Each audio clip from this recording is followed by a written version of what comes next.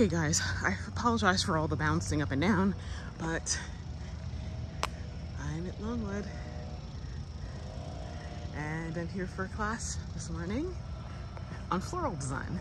It's my birthday and this is what I wanted to do. So I was here last night for a floral demonstration with my mom and there was a dessert uh, reception and today we're learning how to do a floral canopy by an international an internationally known uh, floral designer. So she's an African American woman. Um, she does stuff I would never be able to afford. Unless I won that you know that mega pot you know uh, jackpot uh, lottery thing so I'm really excited. So as you can see from the picture I just took, they're actually setting up for Christmas. Oh wow, look at this. See, I love seeing this behind the scenes stuff. But yeah, they're putting up Christmas lights. So this is good. Okay guys, so it is Future Brooke. It's during Christmas, which is why I've got my little headpiece on here. Uh, but I wanted to talk to you guys about um, this particular video. So I always have wanted to take some classes at Longwood and I'm not really sure why it took me so long. Well, I mean, a lot of it's just time constraints, but I decided to go ahead and start because especially for those of you guys who've been following me like on Instagram, um, you guys know that I'm going to be selling some flowers, excuse me, plants next year. And so the way I'm doing it is in a collection that are is kind of like designed so so that I mean it'll look nice in the garden, but even though it'll look nice in the garden, um, they can double as cutting flowers. So you kind of get a two for one kind of deal. And so I don't really know much about flower arranging, so I thought it would be kind of fun to take some courses. And so the class that I took, decided to take at Longwood, I was was being taught by um, Erica Jones, I think her last name is, and she is the owner of Olux Designs. So she specializes in East Indian and actually South Indian weddings. And so, if you've ever been to an Indian wedding or even um, an East Asian wedding, they're very elaborate, lots and lots and lots of flowers. And so, it's a very luxe looking uh, wedding. And so, that's what she does. And so, when I took the class, um, I did notice on the description that it was for like you could get a credit for floral decorating and I still signed up for the class, and which is completely mental because I've never taken a, you know, design class before. I don't. That's not something that I do, and so I don't understand why on earth I thought that I was going to be able to go into this class having never taken a design class before. I mean, I, I've seen YouTube tutorials and that's pretty much the extent of it. But I signed up and I did it anyway. Um so anyway, um so I was the only person in the class who had no floral experience. Um, and I basically was like, yeah, I do gardening and I like doing like, you know, mussy tussies and, you know, things like from the language of flowers, but I've never done this.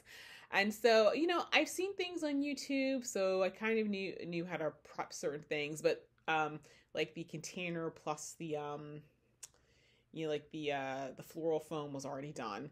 So I just had to arrange it. So we were doing a floral canopy. So I don't know if you guys have ever seen those magazines where they've got uh, you know, this whole canopy thing on over top of the table, either suspended from the ceiling or, or on a stand, and it's really big and that sort of thing. And it's designed to look like it's one huge piece, but in reality, they usually it's constructed in things like you know this long and then they put it together to make a big thing. And so that's what we were doing.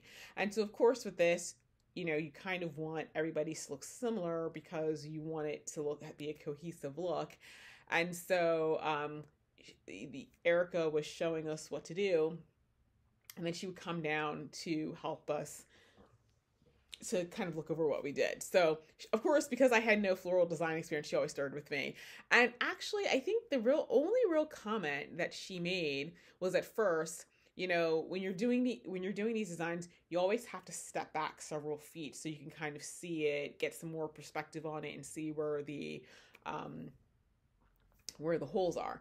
And so, you know, I was doing, I think it was decent, but she was like, yeah, you know, you need to take a step back, like take, come back here, look at it, and you can see better. And so, yeah, so I started doing it. And, you know, after, I think it was like after the first two times, it was just like, she was like, okay. And she wasn't, you know, she wasn't floating around. Like, you know, I always had an issue when you come to that last flower because that putting that last flower is always like, where do I put this last flower? And so, um, but I was like, oh, this is kind of cool because I wasn't getting a whole lot of correction. She wasn't making me take things out. Um, interestingly enough, there was this woman there who had apparently was a trained florist in, I think, a different country and came here. And there were times she had to rip out substantial amounts of stuff and redo it. So I never had to do that. So I was just kind of like, yay me and so erica told me like i think you're the most creative person here. I'm like eh, no not really. But she was like just take the compliment. I'm like okay whatever. Um so i guess she meant from the standpoint because you know everybody else had training and i had no training. And you know at the end of the day i was you know keeping pace with everybody. So um, but yeah, I, I, after it was all said and done, I was like, oh my gosh, I can't believe I was so arrogant to be like, oh, I've never taken a, a floral design class, but I'm just gonna go in here with all these professionals and do it. But um, yeah, so it was a lot of fun. And so um, I don't know that I got video footage, but after we we did the class in the the in the conservatory it was a specific room in the conservatory. And so they took the the flowers out back and i got to tour the back part. Well i was really just driving through the back part of longwood i don't think i took any video footage of it but it was really awesome. Um, so i made the suggestion hey you guys should give a tour of the backside of longwood because that was pretty fun. Um, i was behind you know the conservatory. I was where the greenhouses were and i was just kind of going oh my goodness uh, this is great. So anyway that's the first class that i took. Um, I did take another class. I think I do have some video footage, a little bit of that. Um, I took a lot more um, snaps, uh, you know, pictures because I was doing uh, showing how I constructed things, and I'm currently taking an online floral floral floral design class, but it's it's it's a self paced one, so you don't get credits for it. Um, but I'm actually learning a lot, and I'm really enjoying it. So, anyway, that's the backstory on that's the backstory on um, this class. And so I'm hoping with this video, I'm going to be putting pictures in. I've been having a real issue with um, iMovie, um, adding pictures and really not adding them. So I'm hoping this will actually work and you guys will be able to see the pictures. And um, yeah, so it was a lot of fun. Um, I'm def- I would definitely take that class, another class like that again. And so if you guys are near a, um, you know, a garden center or botanical garden or something, they have some classes. Definitely, definitely, definitely sign up. Okay, guys, so it's the next day. So the flowers are starting to bolt, which is normal. But I just wanted to let you guys see the scale of this. I'm stepping back. I've got it on the far lens. So my table is 10 feet long, so you can see how much space this takes up on the table. So it's actually a substantial arrangement. It's, you know, fairly wide. Um, but yeah.